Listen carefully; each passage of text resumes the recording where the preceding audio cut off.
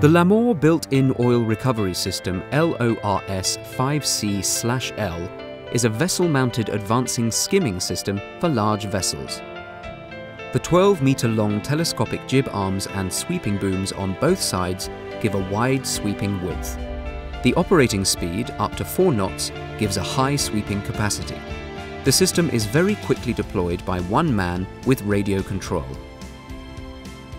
The inbuilt oil separation channel effectively separates oil of any viscosity and pumps out the cleaned water back in front of the sweep boom.